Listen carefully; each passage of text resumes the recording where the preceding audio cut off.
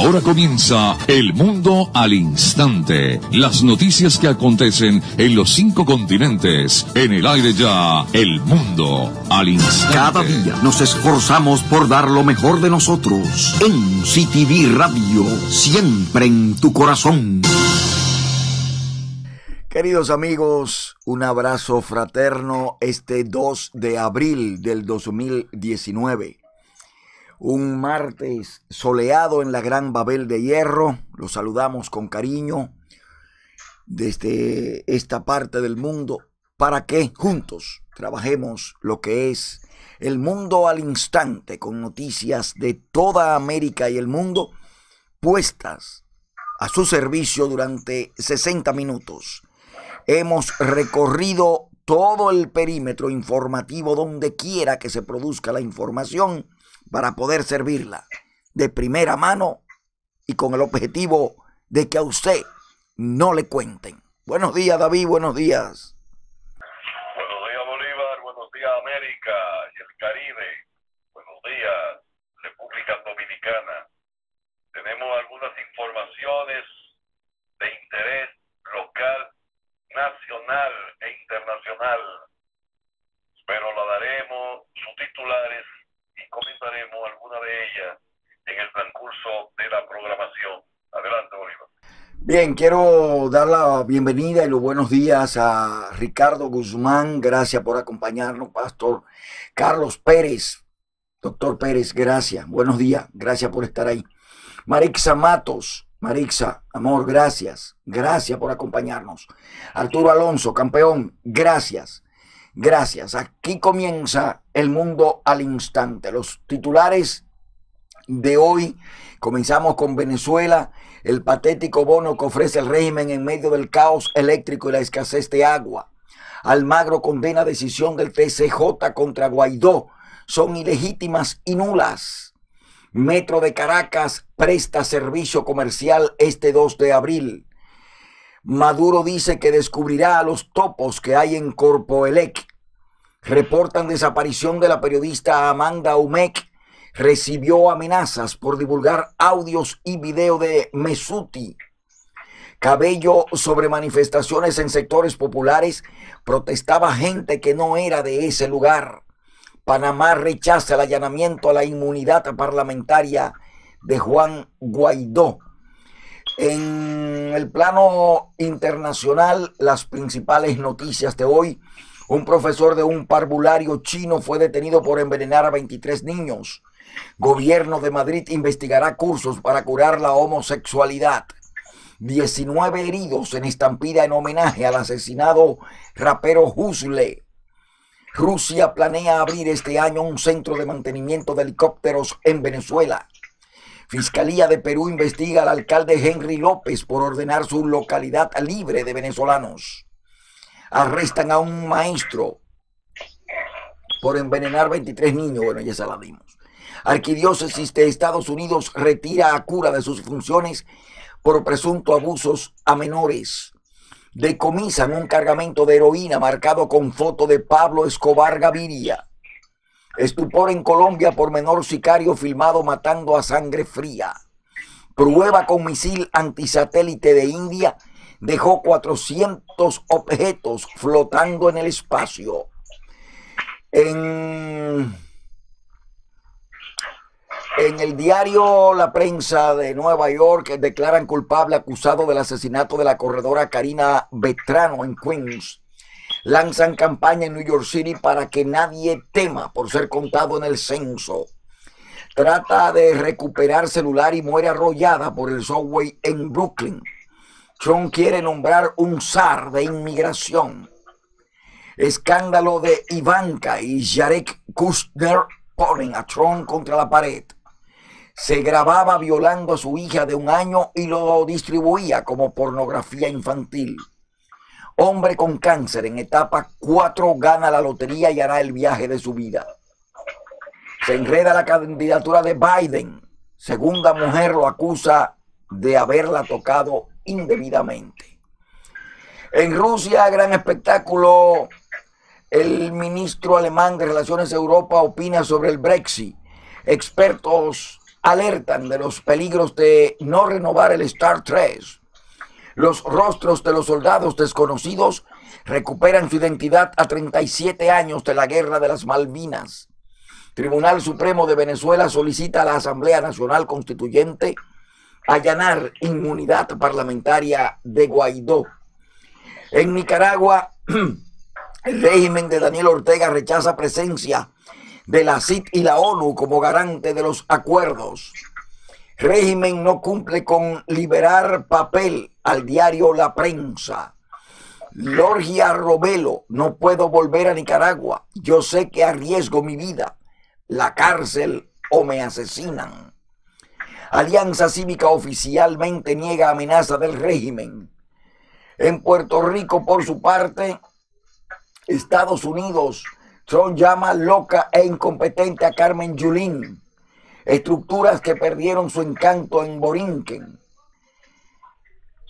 Niña de 12 años de edad se lanza como intérprete urbana. Charlie Montoya pude ver el cariño de los peloteros entre otras noticias que trae el periódico de Puerto Rico. ¿Qué tiene Dominicana, David? En Dominicana, lavadores de activos asaltan las cooperativas para para evadir supervisión fiscal del Banco Central.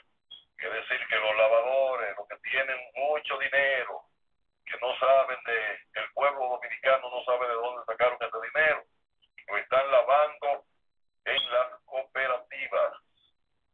En Haití, en los últimos días, mueren ocho personas en hechos de violencia política.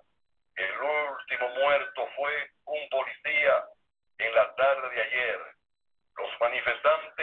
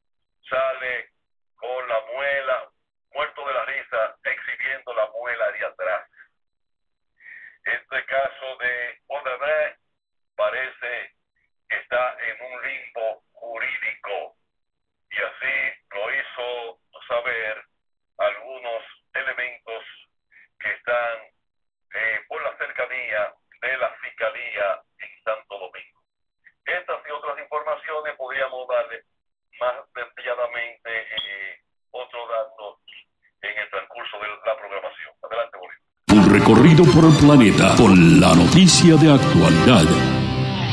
Era el 2 de abril del 2005, la 21 hora con 37 minutos. Todos esperaban su muerte, pero la noche previa al domingo de la divinidad, pocos minutos después, Monseñor Leonardo Sandri anunció la noticia a las personas congregadas en la plaza de San Pedro y al mundo entero. Juan Pablo II había muerto. Hoy se cumplen 14 años de la muerte de Juan Pablo II. El mundo recibió aquel 2 de abril del 2005 la noticia de los medios universales de esta forma de su muerte, 100.000 personas oraban en la plaza de San Pedro. Repentinamente se encendió la habitación de su santidad y en medio de la confusión la noticia. con Cristo el cielo. El Papa ha muerto. Primero aplausos, después lágrimas y cantos en medio del tañer de campanas.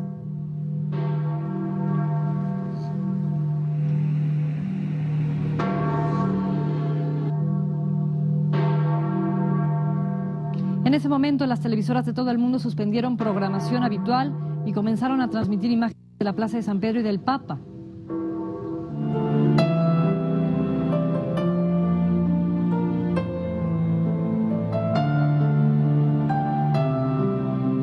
Buenas tardes. Ya. Valentina Larraqui, estamos contigo desde Roma. Adelante. Pues les tenemos que dar una noticia que no nos hubiera gustado darles. Juan Pablo II acaba de morir. Eh, el Vaticano lo ha, lo ha anunciado, bueno, todavía no lo ha anunciado oficialmente, pero se ha filtrado a través de varias fuentes, agencias noticiosas, nuestros contactos. Así se daba la noticia en México. Valentina Larraqui, Leonardo Kurchenko en Roma, Carlos Lorete Mola en el estudio de la Ciudad de México poco antes de las 2 de la tarde. Juan Pablo II murió un mes antes de cumplir 85 años. El certificado oficial firmado por su médico personal señala que murió de shock séptico y colapso cardiocirculatorio. Renato Busonetti dijo que el Papa tuvo episodios de insuficiencia respiratoria aguda, presión baja y fiebre antes de morir. Así se anunciaba la muerte de su santidad en Roma. Il Signore, carissimi fratelli e sorelle, alle 21.37 il nostro amatissimo Santo Padre Giovanni Paolo II è tornato alla casa del Padre. Preghiamo per lui.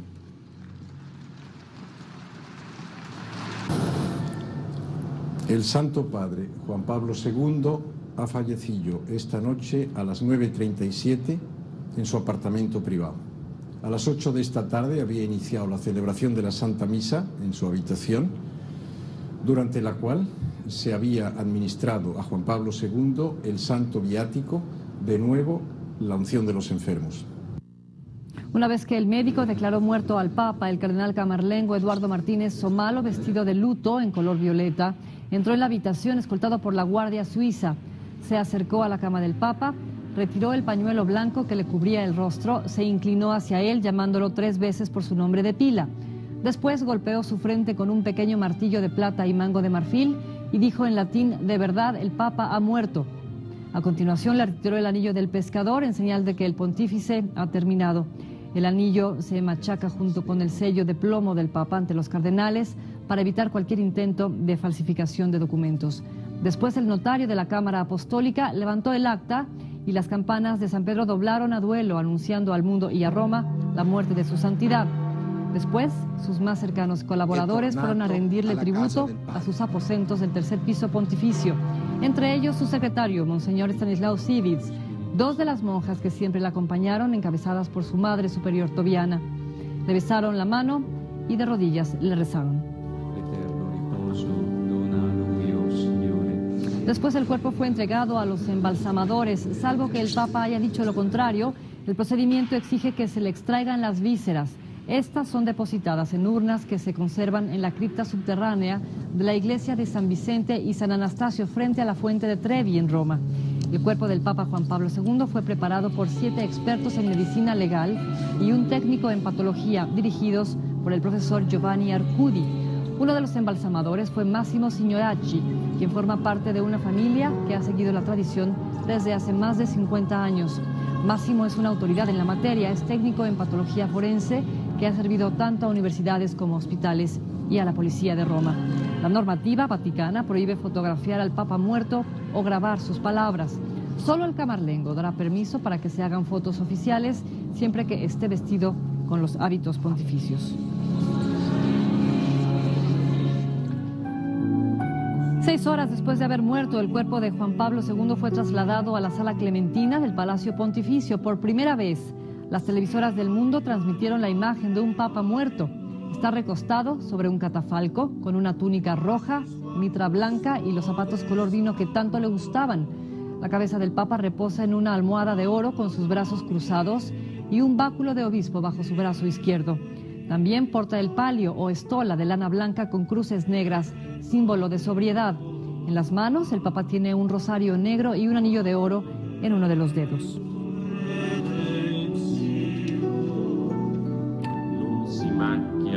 Los cardenales, los llamados príncipes de la Iglesia, están llegando ya al Vaticano de todo el mundo para participar en el cónclave en el que se elegirá al nuevo Papa. El cónclave debe comenzar no más de 20 días después de la muerte del Papa. En esta ocasión, la elección deberá iniciar antes del viernes 22 de abril. En el pasado, los cardenales recibían alojamientos improvisados, pero en esta ocasión estarán en la casa de Santa Marta, dentro del Vaticano. Las reglas para el cónclave son estrictas porque nadie puede tener contacto con el exterior hasta que se elija el nuevo Papa. Incluso se prevé que un equipo de técnicos recorrerán las salas y pasillos del Vaticano en busca de equipos de espionaje. El mecanismo para el cónclave inicia cuando 117 cardenales menores de 80 años ingresan a la capilla Sixtina, celebran una misa y votan. Pueden votar hasta 21 ocasiones buscando un porcentaje de 63% a favor del nuevo Papa. En caso contrario, se procede a otra votación con la mitad más un voto.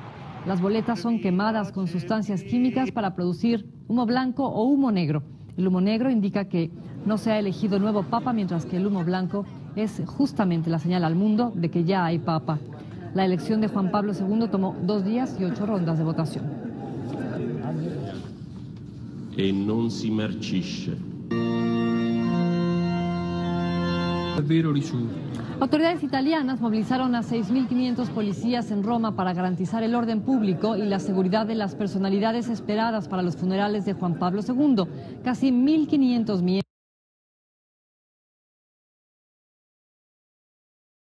Ese, en síntesis, ha sido el resumen de 14 años después de la muerte. 2005 de, fue el año de la muerte de un después de la muerte de, de, la muerte de, Juan de este Pablo hombre que llenó toda una época en la historia del cristianismo.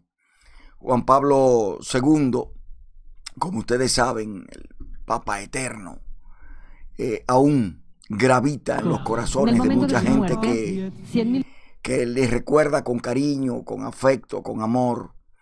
Eh, cuando vemos a la historia de Juan Pablo II y vemos el derrotero que ha tomado el Papa Francisco, vemos dos curas papales muy distintos.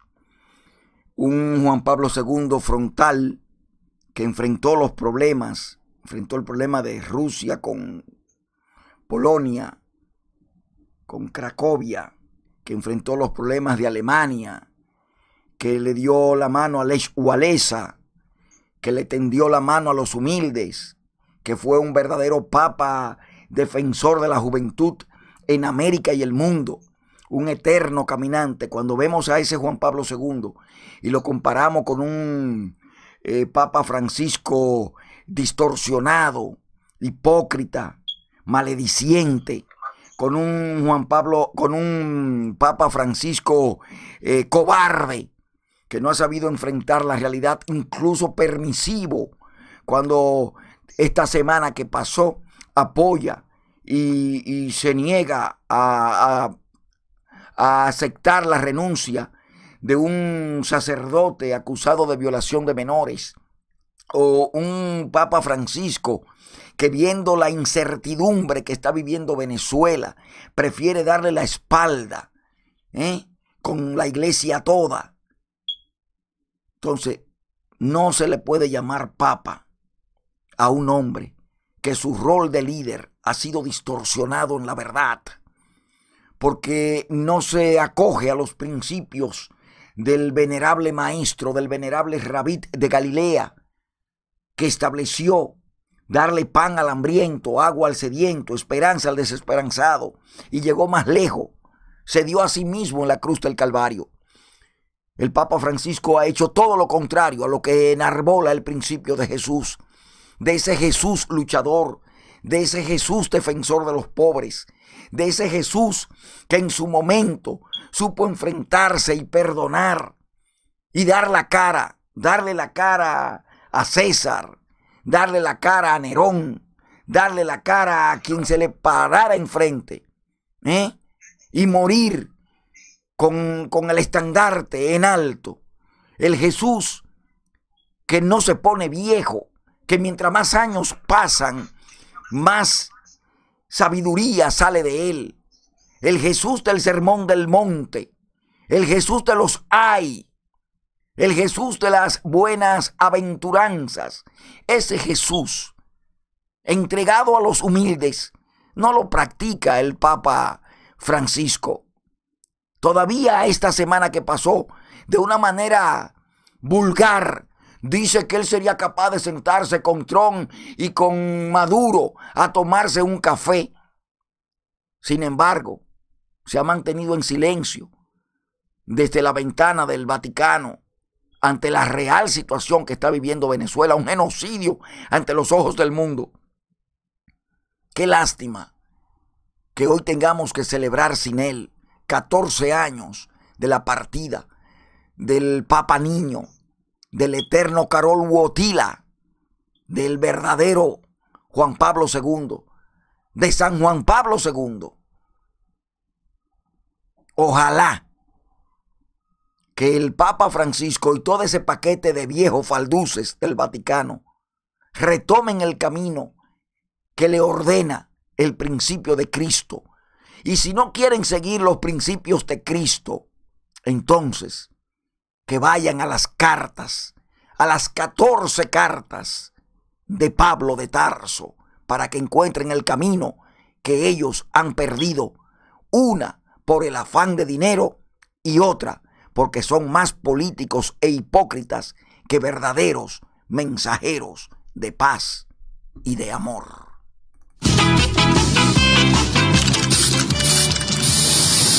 El problema no es que nos mientan, el problema es que les creamos.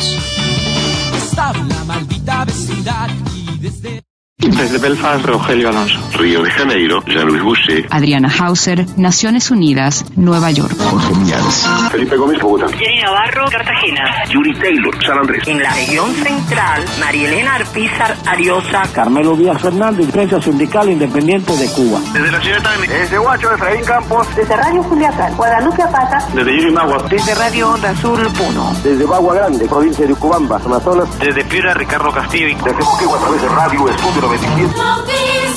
Martillo y Clavo TV. Estamos donde quiera que estés.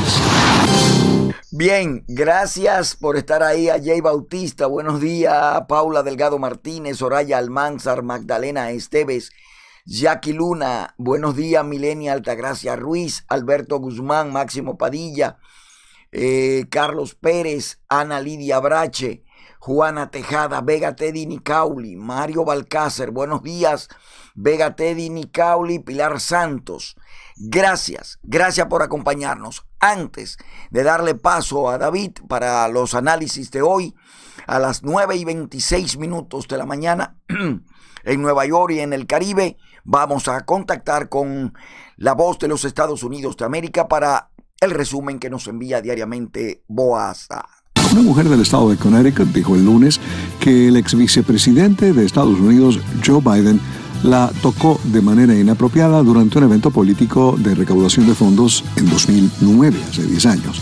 Es la segunda acusación contra el ex vicepresidente en los últimos días. Amy Lapos dijo a la publicación de Harvard Courant que no fue sexual, pero me agarró por la cabeza, puso su mano alrededor de mi cuello y me aló para flotar su nariz con la mía. Pensé que me iba a besar en la boca, dijo la mujer. Lapos, quien era asistente del representante Jim Himes, demócrata por Connecticut, escribió por primera vez el domingo sobre el presunto incidente ocurrido hace una década bajo un seudónimo en un grupo de Facebook llamado Connecticut Women in Politics. El Tribunal Supremo de Justicia de Venezuela informó este lunes que fue allanada la inmunidad parlamentaria de Juan Guaidó, presidente de la Junta Directiva de la Asamblea y presidente interno del país o interino encargado de Venezuela. El anuncio lo realizó el presidente del Tribunal Supremo de Justicia, Michael Moreno, argumentando que Guaidó incurrió en desacato por haber salido del territorio venezolano violando una orden de prohibición de salida emitida el 29 de enero.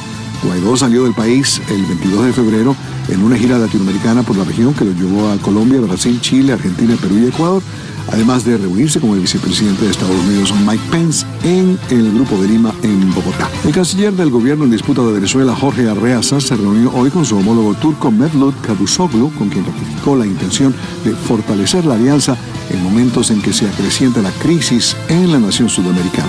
Cavusoglu se pronunció en Twitter contra una eventual intervención extranjera en Venezuela. Turquía forma parte del grupo de países que apoya al gobierno en disputa de Nicolás Maduro, que incluye a Rusia, China, Corea del Norte, Nicaragua, Bolivia y Cuba. El vicepresidente de Estados Unidos, Mike Pence, visitará Houston el viernes 5 de abril para dar un discurso sobre la agitación política y la crisis en Venezuela. Pence hablará ante estudiantes y miembros de la comunidad local venezolana en el Instituto Baker de Política Pública de la Universidad Rice, indicó la Casa Blanca en un comunicado. Mike Pence hace su visita justo cuando la lucha política se intensifica en Venezuela. El jueves pasado, el gobierno del presidente en disputa, Nicolás Maduro, prohibió que el presidente encargado, Juan Guaidó, ejerza cargos públicos por 15 años, inhabilitándolo. El resumen de Boasá. Inmediatamente entramos al resumen de Radio Francia Internacional. El presidente de Brasil, Jair Bolsonaro, visitó el Muro de las Lamentaciones con el primer ministro Benjamin Netanyahu, convirtiéndose en el primer jefe de Estado en hacerlo con un mandatario israelí. Es uno de los lugares sagrados del judaísmo, está ubicado en el este de Jerusalén, ocupado por Israel en la Guerra de los Seis Días en 1967, en una decisión que no ha sido reconocida por la comunidad internacional. Bolsonaro no ha anunciado durante su viaje el traslado de la embajada brasileña a Jerusalén, tal y como esperaban las autoridades israelíes. Los diputados británicos intentarán encontrar una alternativa al acuerdo del Brexit negociado por la primera ministra Theresa May y podrían inclinar la balanza en favor de un divorcio más suave con la Unión Europea. La propuesta de un modelo Noruega más, eh, también conocido como Mercado Común 2.0, podría distinguirse. La Premier británica se opone de plano a esta opción, pues Londres perdería la posibilidad de llevar a cabo una política comercial autónoma tras el Brexit. El partido gobernante, gobernante en Turquía pierde el control de cinco de las diez mayores ciudades del país en las elecciones municipales. Es un duro revés para Recep Tayyip Erdogan, en particular en Estambul, que la ahora presidente gobernó en los años 90. La mala situación económica habría pesado en el ánimo de los electores. El recuento está llevándose a cabo en Estambul, pero va a ser largo, dado que el candidato opositor tiene una ventaja muy pequeña sobre el candidato del AKP. Escuchamos a este candidato de oposición, socialdemócrata Ekrem İmamoğlu. Queremos cooperar con todas las instituciones de Turquía para satisfacer rápidamente las necesidades de Estambul. Dejemos que Turquía vuelva a la normalidad ahora. La justicia argelina prohíbe a los investigados por corrupción y evasión de capitales abandonar el país. Investigados como el expresidente de la Cámara Empresarial argelina, Ali Haddad, cercano a la presidencia. La Fiscalía Antiterrorista francesa ha abierto hoy una investigación sobre las dos bombas encontradas en Bastia, la segunda ciudad más importante de la isla de Córcega. Ninguno de los dos paquetes explosivos estalló ni en el Tesoro Público ni en la Dirección Departamental de Finanzas. El jueves llega a la isla el presidente de la República, Emmanuel Macron. Y los chocolates Ferreros se toman un gran bol de cereales Kellogg. El gigante italiano del agroalimentario llegó a un acuerdo para adquirir la división galletas, snacks de fruta y helados de la multinacional estadounidense Kellogg. Ferrero lleva cuatro años reforzando su posición internacional, por lo que ya es el tercer productor europeo de dulces. Un recorrido por el planeta con la noticia de actualidad. Escuchado ya los resúmenes de Boa Sat en Washington y de Radio Francia Internacional. Aterrizamos.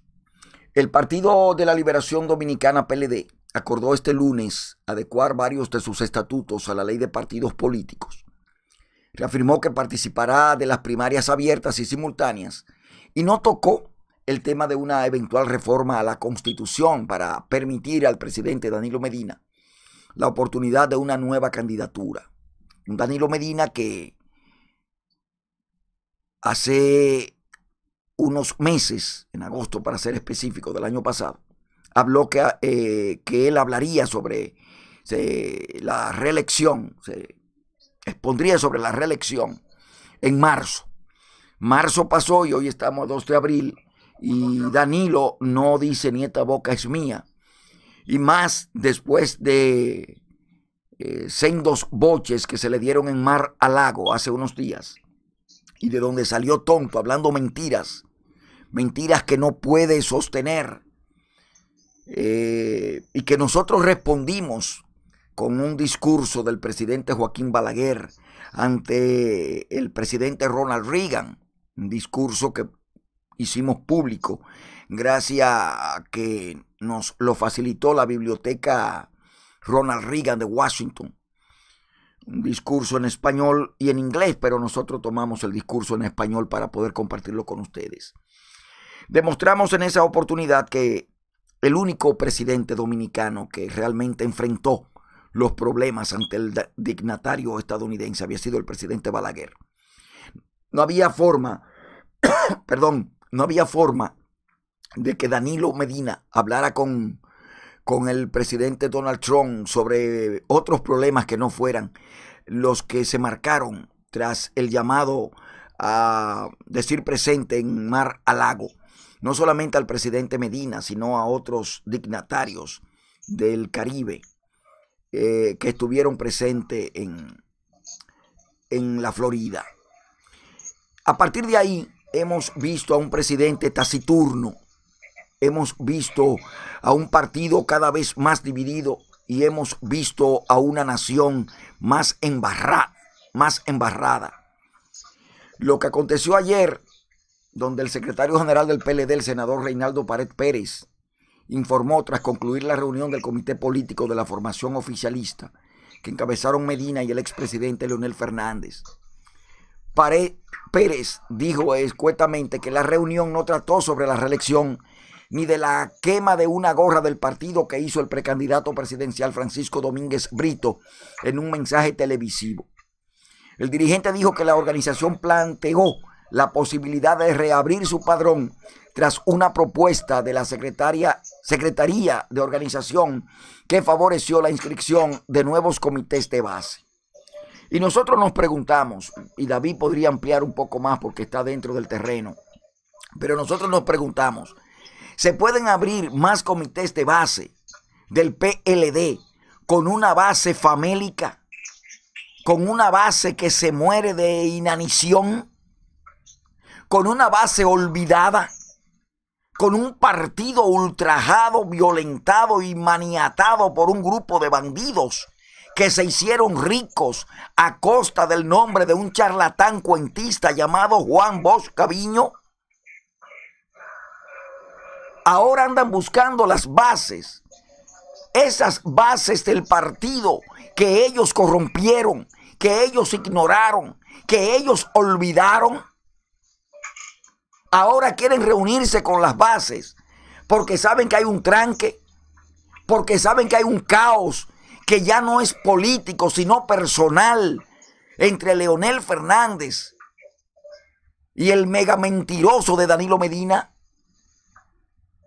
¿O no se dan ustedes cuenta que cada vez que hay un, un teje-maneje raro, el caso de ahora con, la, con, la reelección y la constitución, y el caso de, Guido Gómez Mazara con, con el PRD, siempre hay un jodido lío en Haití. Y todo eso se presta para crear aureolas y producir cosas que uno desconoce. Meter droga, meter armas, hacer diabluras, distraer la atención del planeta, distraer la atención de los principales líderes. Fíjense ustedes cómo tumbaron en fracciones de segundo el asunto de la cabo esta que la hicieron teniente segundo lo que canta un gallo. Y después se quiso decir que fue porque ella era agrimensora, que la vaina, que profesionalismo. Mientras algunos dicen que le dieron todos esos rangos porque es la amante de un general en el más alto nivel. Entonces un país que perdió todo. La justicia manga por hombro y te lo demuestra el caso de Brecht que acaba de analizar David en los titulares.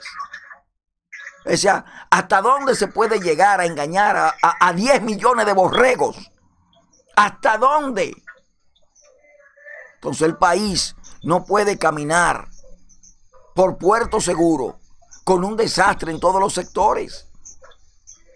Desastre en el palacio, desastre en la justicia, desastre eh, eh, en la milicia, desastre en la iglesia, desastre en la sociedad. Se habla de millones de gente que han salido de la pobreza y no han podido presentar un solo pobre, un solo pobre de Guachupita, de Los Minas, de Monomojao, debajo del puente Osama, un solo pobre que se haya demostrado que haya salido de ahí, que hoy sea rico. Entonces así no se camina. La Junta dice una cosa, los políticos dicen otra. La Junta pide una vaina, los políticos hacen otra cosa. Los medios de prensa, toditos matándose cada uno con una parcela política dentro de sus cuadrillas, cuadrículas informativas. Entonces no podemos hablar de un país en democracia o un país que se respete, porque lo que menos hace la República Dominicana es tener democracia y respeto a sí mismo. Un país donde cualquier sinvergüenza termina llevando droga, llevando cuero, llevando vaina, haciendo diabluras la delincuencia internacional, la cosa nostra italiana, el narcotráfico, el lavado de activos, el robo al erario público de los países de América, terminando los bancos dominicanos y el gobierno bien gracias. Y encima de eso, este mentiroso queriendo reelegirse de nuevo a costa de un paquete de babosos que se hacen llamar dirigentes. Usted no encuentra un dirigente creíble en el PLD. Usted no encuentra un dirigente creíble en el PRD. Usted no encuentra un dirigente creíble en el Partido Reformista. Usted no encuentra un dirigente creíble en el Partido del PQD. Usted no encuentra un dirigente creíble ya en el Partido Comunista. Usted no encuentra un dirigente creíble en los clubes. Un dirigente creíble en la iglesia. Usted no encuentra un dirigente creíble en la sociedad. Un dominicano que se levante creíble y que la gente crea en él. Porque la gente solamente cree en la cartera, en el poder del dame lo mío. Entonces así no se puede caminar. No sé, David, si tiene algo más que exponer en base a eso. Tú estás dentro y sabes cuál es la realidad ahí. Bueno, Bolívar, tú sabes que eh, cómo se manifiestan ese tipo de matrimonio eh, papelero lleno de crisis, lleno de, de grandes dificultades. Ese tipo de matrimonio que se presenta ante la sociedad la apariencia de aparentar ante la sociedad de que todo está bien, de que todo está normal, que todo está color de rosa. Sin embargo, cuando le toca, le toca a alguien observar la realidad,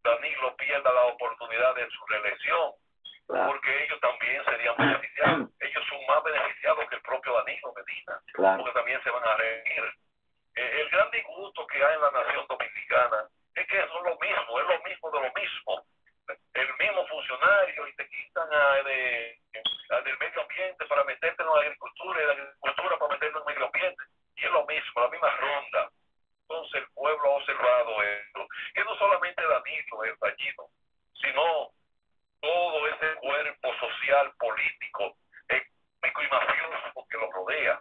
Esto es, realmente lo que hay. Entonces, en esa lucha de intereses con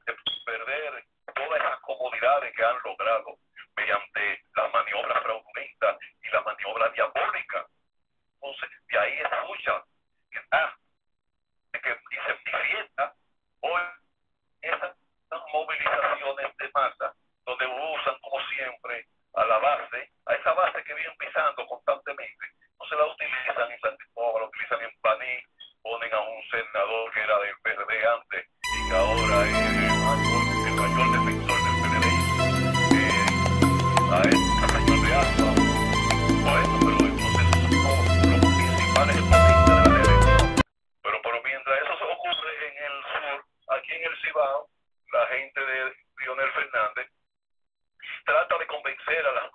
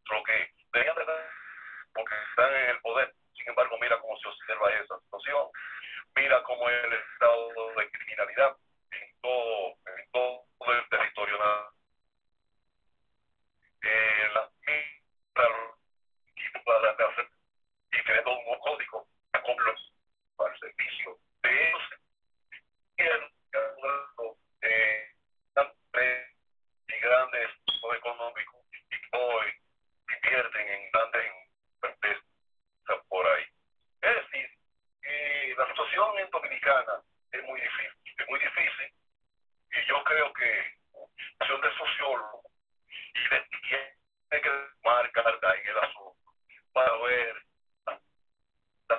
a dónde podríamos nosotros seguir soportando este estado de barbarie, de barbarie que vivimos. Un estado completamente descontrolado a todos los niveles, tanto a lo interno como este eh, a lo externo, porque los partidos políticos de la oposición que hay tampoco dominicana. Eso es lo que... Y por eso yo coincido contigo cuando tú emites tu criterio con relación a la crisis que nos sacude desde hace muchos años en todo el país. Es decir, que esa es nuestra opinión, nuestra breve opinión de nuestra óptica. Okay. Bien, esa es la situación. Vamos a una pausa, retornamos enseguida. Martillo y Clavo TV, emitiendo desde Nueva York.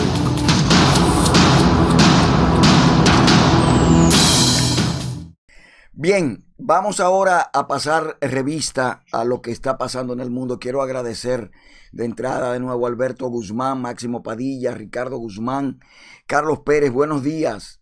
Eh, buenos días, Ana Lidia Brache, eh, Juana Tejada, Vega Teudi, Trin, eh, Nicauli. Gracias, Mari Polanco, Pilar Santos, Lourdes de la Cruz, El Macho Pereira. Gracias, buenos días por estar ahí. Gracias por acompañarnos. Están viendo una promoción, es parte de un proyecto que viene en verano dentro de lo que estamos trabajando. Quiero agradecer a mi hijo Adrián la producción que ha hecho con, con el concepto que le marcamos para esta promoción y lo que pretendemos hacer en pleno verano sobre Nueva York. Así es que es parte de lo que venimos trabajando en los últimos en los últimos días para presentarlo a ustedes en los días por venir. Pasamos revista al mundo.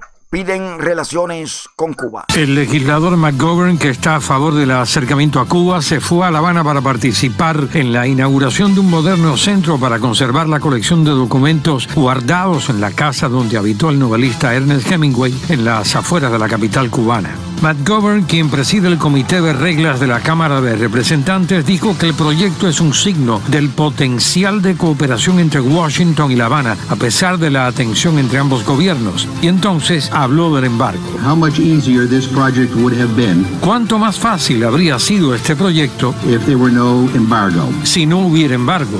Y acto seguido hizo referencia a tiempos pasados en esas relaciones. Apparently, there are some who are nostalgic for the Cold War. Aparentemente parece que quieren volver a la situación de la Guerra Fría. Well, I'm not. Pero yo no quiero eso. Y entonces terminó de forma sentenciosa. There is no good or rational reason why the United States and Cuba shouldn't have totally normal relations. No existe razón lógica para que Estados Unidos y Cuba no tengan relaciones completamente normales. Además de participar en la inauguración de este centro dedicado a Hemingway, McGovern se entrevistó el fin de semana con el gobernante cubano Miguel Díaz Canel. En Perú, un accidente automovilístico dio como resultado eh, el incendio de un bus y de este incendio 17 personas perdieron la vida. El ministro del Perú estuvo presente en el lugar de los acontecimientos y este es el informe que nos envían los compañeros de Perú. En primer lugar, nuestras condolencias a las familias que han resultado afectadas, familiares de las 17 personas que han sido, que han fallecido lamentablemente en este incidente. Nuestra presencia obedece para informarles a ustedes de acciones inmediatas que ya hemos adoptado. Estas tienen que ver, en primer lugar, la suspensión de autorización de la empresa en todas sus rutas. Tiene cinco rutas, 13 buses que estaban habilitados. Esa suspensión se ha dado ya. Ya no podrá seguir circulando inicialmente por 90 días.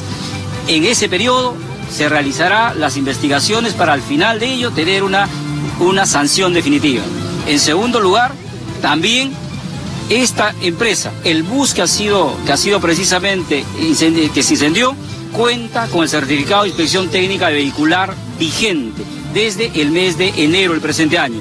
Ha sido identificada la empresa certificadora que dio emitió el certificado, es una empresa de Lambayeque, como tal, en este momento estamos dispuestos ya el inicio de las investigaciones para al final de ello concluir si corresponde con la sanción a esta, a esta certificadora, obviamente de corresponder. Otra medida adicional que hemos adoptado es en concordancia con la suspensión de las operaciones de esta empresa, sus terminales, terminales en las ciudades de destino, por ejemplo la de Chiclayo, la de Trujillo, están en este momento siendo clausurados. Están clausurados de tal manera que esta empresa no siga funcionando, reitero, suspensión por 90 días, eh, periodo que es suficiente para tomar una determinación final en base a las investigaciones. A ver, a ver, además de esto, además de esto voy a mencionar que complementariamente nuestro procurador, que también nos acompaña en esta, en esta presentación, está formulando una denuncia penal contra el representante legal de la empresa y obviamente contra los que resulten responsables y esto complementará a lo que viene haciendo. No, no, no, el ministerio no ha autorizado. Este no es un terminal autorizado por el ministerio. E, este, e, este no está autorizado. Actualmente no, no está autorizado. La, a ver, seamos claros, la empresa, la empresa, la propietaria del bus obtiene su autorización para circular con dos terminales, uno el de Marco Polo y otro el de Flores Hermanos. De allí debería, de allí debería, de allí debería, de allí debería salir. Lo que ha sucedido es que este estaba en un lugar que no corresponde y por eso son las sanciones que aplicamos y por eso son las acciones que estamos, estamos poniendo en marcha. gasolina que se estaba trasladando en esta zona? Nosotros desconocemos de ese detalle, se entiende que las investigaciones que hoy mismo la, la Fiscalía viene a hacer, con, viene realizando con apoyo de la policía, seguramente llevará a determinar pericias que determinen las causas.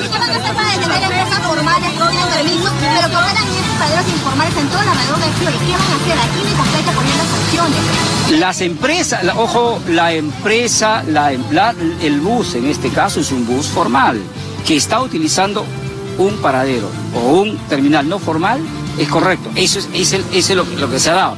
La competencia para poder clausurar esta, este paradero, este terminal, es competencia de la municipalidad y, lo ha hecho. Hace poco lo ha realizado, lo que pasa que su capacidad probablemente no da su capacidad operativa me refiero, para mantener el, seguimiento y el control que debe haber a fin de mantenerlo cerrado.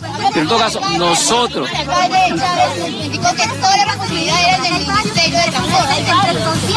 Los, los, los terminales formales son fiscalizados por Sutran. Sutran es una entidad adscrita al Ministerio de Transportes y que se encarga de la fiscalización y eso lo realiza periódicamente. Las los terminales o paraderos informales no son de competencia del Ministerio de Transporte, son de competencia de la autoridad municipal.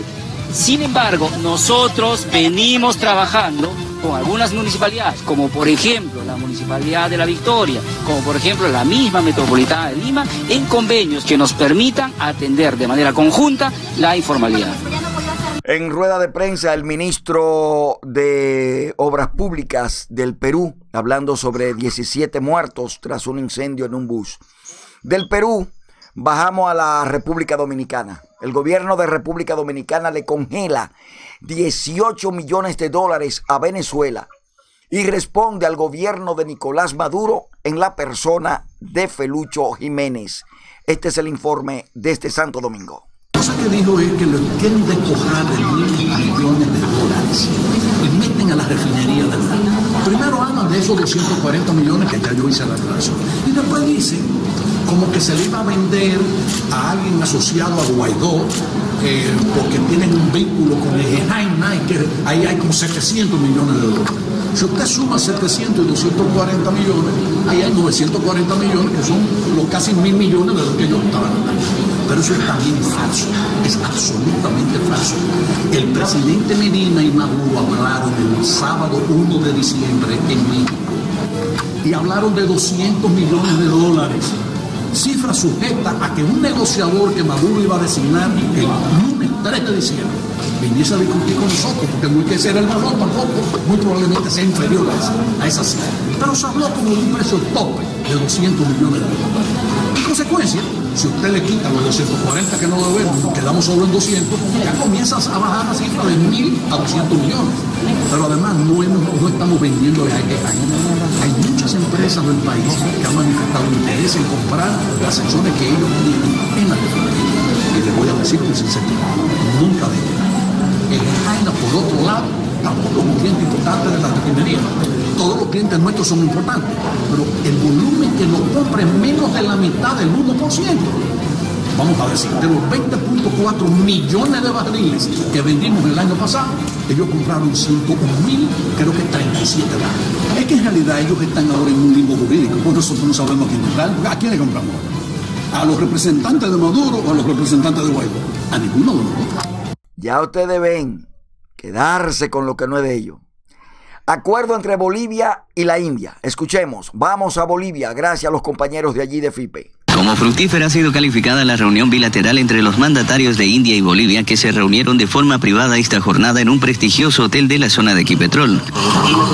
Ocho acuerdos fueron suscritos por los diplomáticos de ambas naciones, tres convenios y cinco acuerdos de entendimiento en las áreas comerciales de exploración y explotación de gas y litio. Me siento orgulloso de ser parte de este momento histórico dentro de nuestros lazos diplomáticos. En común tenemos la posibilidad de fortalecer la cooperación entre nuestros dos países. El interés de la India en invertir en el tren bioceánico también quedó de manifiesto en uno de estos acuerdos. Ya contamos también con empresas de la India que hacen conocer su interés de participar. En la oportunidad, el mandatario boliviano se sumó al acuerdo de 121 naciones del mundo que promueven el uso de la energía solar. Bolivia defiende los derechos de la madre tierra, por ello se suma a la Alianza Solar Internacional impulsada por India para promover energías alternativas para que el 2025 casi el 50% de la población boliviana deje de depender de combustibles fósiles. Finalmente, el mandatario de la India fue condecorado con el Cóndor de los Andes en el grado de gran cadena, máxima distinción que otorga el Estado plurinacional. Yo quiero aceptar este honor con humildad y con enorme orgullo en, como símbolo de nuestra amistad. Este importante evento contó con la presencia de autoridades de los gobiernos nacionales, departamentales y locales, además de movimientos sociales. Bien, ahora vamos a Nicaragua. Denuncian torturas en Nicaragua. Este es el informe. En el Ministerio Público por el delito de tortura en contra de funcionarios del sistema penitenciario, los de la máxima, entre ellos Roberto Guevara y William Trujillo, siendo las víctimas eh, Jeffrey, eh, Isaac Jarquín, Frederick, Eliseo Castillo y Francisco Antonio Sequeira, los cuales el 8 de marzo fueron torturados en, el sistema penitenciario, los pusieron de cabeza, ¿verdad? colgados de sus pies y comenzaron a ellos este, a lesionarlos y hacerle eh, peinados y cortes y golpes en, el cuerpo hasta que emanaron sangre, tanto en la nariz, incluso no han recibido atención médica hasta el momento, que se sepa. Y ya se interpuso un recurso de exhibición personal, y algún ejecutor acudió al lugar y hubo deslicencia. No se pueden quejar. Noticia del mundo, para que no le cuenten. Llegamos al final. Antes de despedirnos, vamos a Vamos a agradecer a Máximo Padilla, que escribe, New York es otra cosa, será lo más genial y exitoso del siglo. Gracias, maestro, por hacer lo que nunca se ha visto. Pa'lante, que el mundo es de los que tienen talento. Codex. Gracias y buenos días, Natalio Martínez, Marisol Bencosme y Dionisia Zorrilla por acompañarnos. A todos, gracias. Gracias por venir hoy, martes 2 de abril, a compartir un rato con nosotros. Buenos, días, David. Buenos días. Sí, buenos días, Bolívar. Buenos días, Bolívar. Buenos días, América. Hablaremos ampliamente sobre el lavado de activos a través de la cooperativa en la República Dominicana y otros activos que se implicarían en bienes inmobiliarios y de otro tipo de compras comerciales en la República Dominicana. Será hasta mañana, Bolívar. Bien, gracias. A ustedes también las gracias por acompañarnos Nos vemos mañana. Dios con todos. Desde Washington, D.C., escuchan la voz de América. Radio Canadá Internacional. Caracol Cali. Desde la sede de la ONU en Nueva York. Radio Francia Internacional. Radio Martí. El mundo al instante. Martillo y Clavo TV. Estamos donde quiera que estés.